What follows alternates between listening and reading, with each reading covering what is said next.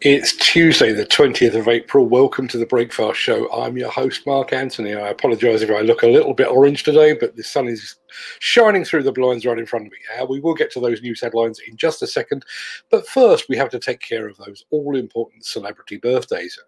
Now, I'm going to gloss over the fact that today marks the birthday of Adolf Hitler and focus instead on saying happy birthday to Star Trek's very own Mr. Sulu, uh, actor George Takei.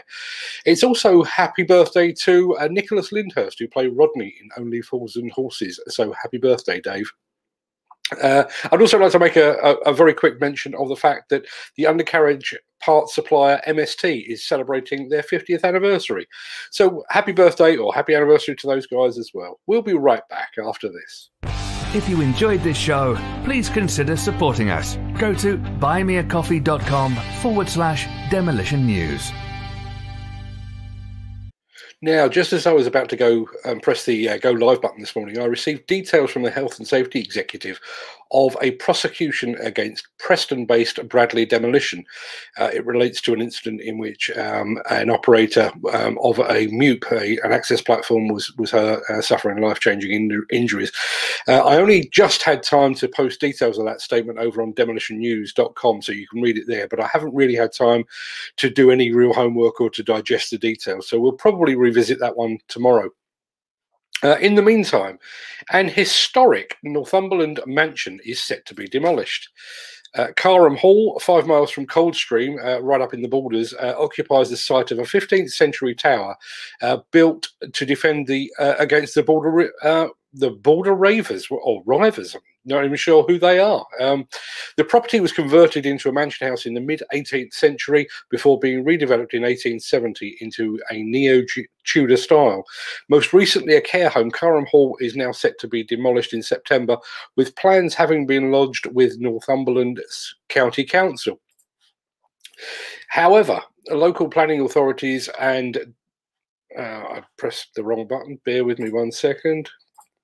That's better, yeah. However, local planning authorities and demolition contractors will need to act very, very quickly. Uh, the building isn't currently listed, uh, meaning its history and heritage could be lost forever. But a spokesman for uh, Historic England said that Carham Hall is currently being considered for listing, and that listing could yet save the mansion from demolition.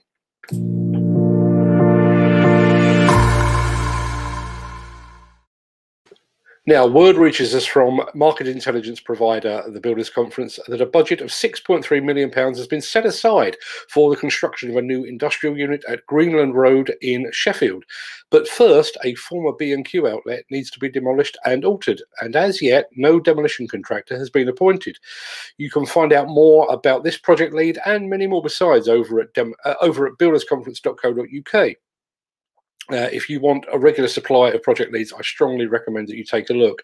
Oh, and by the way, the Builders Conference also tell us that Stockport-based Glenbarrow Demolition has been selected to carry out the demolition of a mosque on Wilmslow Road in Cheadle.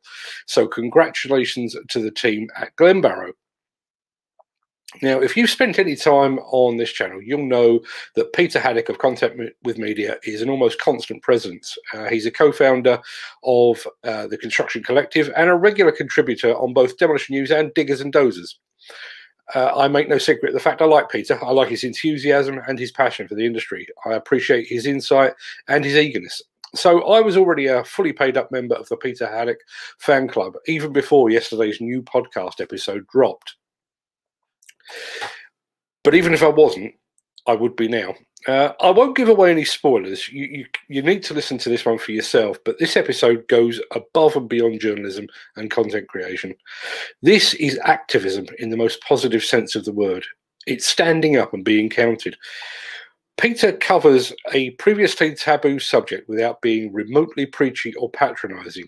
And perhaps more importantly, his guest is outstanding, brave, and forthright. So please find the time to give this one a listen. Uh, I have placed a, a, link to the in the description of today's show. I'll add it again in the extended show notes. But this is a pioneering piece of industry broadcasting. So please try to find the time to give this one a listen.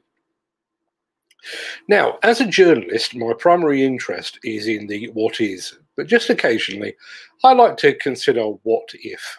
So when news broke uh, this weekend of a breakaway European Football League that would see some of the biggest and richest clubs in the continent going it alone, my brain started to wander. What if the same thing happened right here in the field of demolition? Now, I wrote about this yesterday, and you can find that article over on demolitionnews.com. And I'm not going to rehash that article here. Instead, I want to look at why such a move could make sense. And, and having been prompted to do so on Instagram, I also wanted to consider just which companies would merit inclusion in a European uh, demolition super league. So from here on in, I'm off script, I'm freewheeling and ad libbing, trying to make a, a valid point and trying to make sense at the same time. So let's start with why a demolition Super League would actually make sense.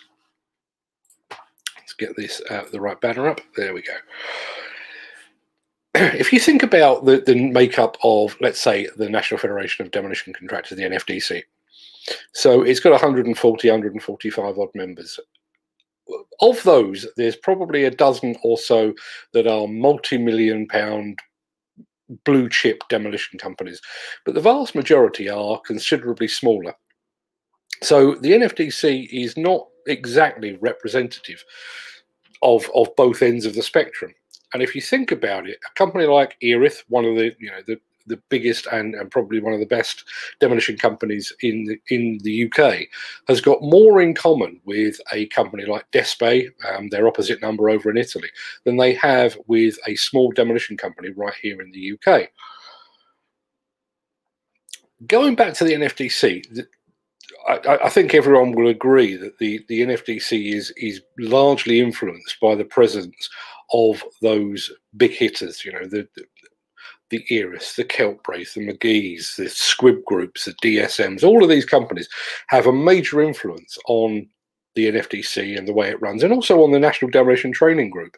And that's not necessarily to the benefit of those smaller companies.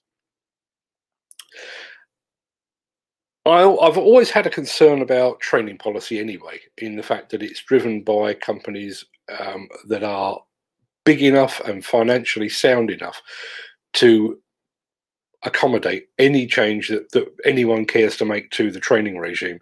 A lot of demolition companies at the smaller end can't afford constant price rises and constant car renewals and, and just having new rules and regulations foist upon them at the, the will of, of somebody with considerably more money in the pot. Also, I think if you take out the big names of the industry from these national organisations, um, and this is not this is not singling out the NFDC. I'm sure I'm sure the same situation exists in France, Germany, Italy, and all these places. But if you take those big names out of the out of the national organisations, those organisations then become more democratic and more representative of the true nature of the the business. As I said, very few demolition firms turn over 20 million, 30, 50 million, 100 million pounds so let's let's assume, and it is a big assumption, but let's assume we are going to start a European Demolition Super League. Now, I, I did try to follow the rules that are being set by um, the Football Super League, uh, having six representatives from the UK, three from uh, Italy, and three from Spain. But I don't think that's fair. So I'm going to I'm going to make my list just a little bit different to that. And my incomplete list, I would start with the following. Erith definitely going in. Um, they are massive, um, very very good company. They, they, are probably as close to a blue chip company as the UK demolition industry has, uh, I would say. DSM, DSM equally massive, um, and, and, and again a, a, fantastic company. And Brown and Mason, uh, Brown and Mason, you know another very big, another a very professional company. But also, I believe that their um, power station demolition expertise is transferable and exportable. So you know they, they could quite easily and they you know they could quite easily work cross border and they have done in the past. So I think that one would, make perfect sense. You'll note that I've not included Keltbray or Carey Group, even though they are both undeniably massive. But neither of them is what I would call a pure demolition company. And while some are willing to overlook that fact, this is my imaginary Super League, so I set the rules. So Keltbray and uh, Carey Group don't qualify. From Italy, no question about it, Despe. Um, Despe is as good, if not better, than any demolition company in the entire world. They are the Juventus of demolition. Um, AF Decom of Norway gets a nod. Like Brown and Mason, they've got a unique set of skills, transferable skills, um, and they could operate very, very happily cross continent without a moment's consideration. Uh, other companies that have impressed me over the years, um, Balen in the Netherlands, very impressive company. Cardem in France and Herkel in Spain. Um, I'm sure there are others that, that I haven't considered.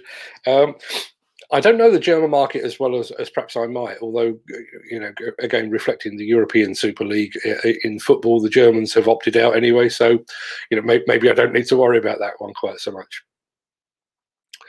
Will a demolition Super League ever exist? I doubt it. I, I, very much doubt it. There's too much vested interest at national level.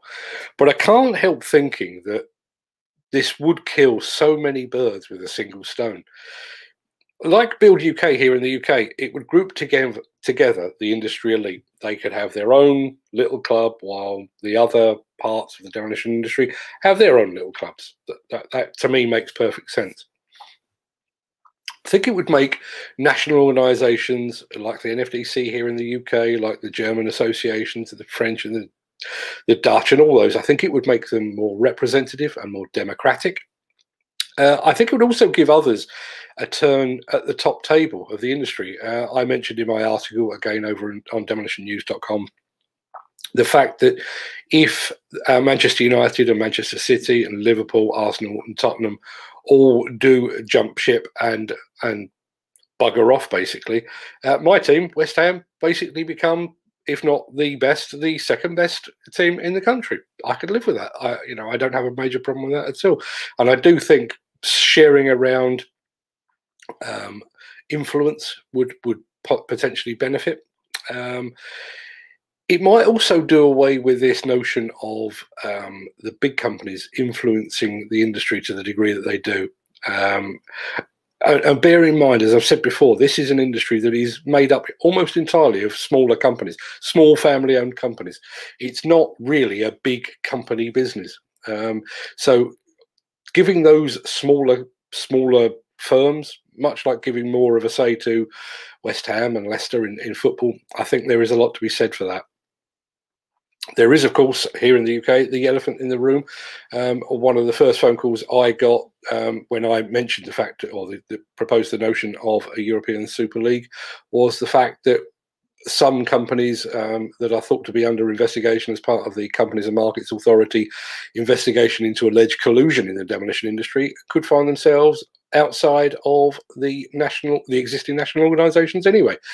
So if they still want to belong to a club um, and if they are they either quit the nfdc or they are ejected from the nfdc whatever the case may be maybe they will need a club of their own. Maybe they will start a club of their own, and maybe just maybe that club could go cross border.